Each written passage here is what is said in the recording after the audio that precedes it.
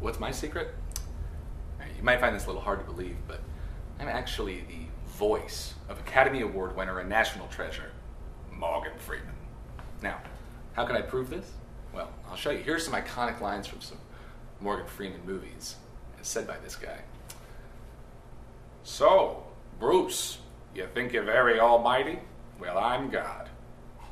Bruce Almighty. Hey, Miss Daisy, what are you gonna do? Walk? No, I'll drive you. Drive you, Miss Daisy. Hey, Lucy, you're going crazy. Lucy. So, now you know. I'm the real voice of Morgan Freeman. So you can cross that off your bucket list. The bucket list.